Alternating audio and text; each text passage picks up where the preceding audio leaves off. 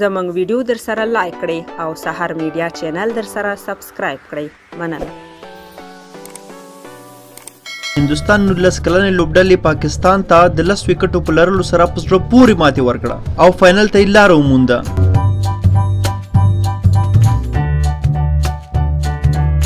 د پاکستان 19 کلن لوبډله لومړی توپوهنې ته راووته چې تر ټولو ډېرې منډې حیدر علي او روهیل نظیر وکړې چیرې حیدر علي شپږ پنځوس او روهیل نظیر دوه شپېته منډې ترسره کړې او پاکستان د ټول لوبغاړي په سوځېدو سره په درې څلوېښت اورو کې یو سلو دوه اویا منډې ترسره کړې چې هندوستان نولس کلن لوبډلې ته یو سلو درې اویا منډو هدف وټاکه د هندوستان د بالرانو لخوا کارتیک دوه مشرا درې بشنو دوه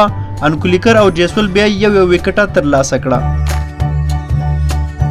هندستان 19 کلن لوبډلې یاد هدف ډیر په اسانۍ سره د لس وکټو په لرلو سره پوره ک چې جیسول ډیر یو زبردست لوبه نندارې ته وړاندې کړه چې یو سل پنځه ناسوځلې منډې تر سره کړې او سکسینا هم بیا ښکلي بیټینګ نندارې ته وړاندې کړه هغې نه پنځوس ناسوځلې منډې تر سره کړې چې دې سره یې ورکړل شوی هدف ډیر په اسانۍ سره په پنځه دېرش اورو کې بغیر د کوم وکټ د سوځیدو څخه ترلاسه ک او فینل ته لار پیدا کړه نو دا اوس زمونږ د نن ورځې خبر د نور خبرونو د پاره زمونږ دغه چینل در سره هرو مرو سبسکرایب کړئ مننه ډیره زیاته الله مو مل شه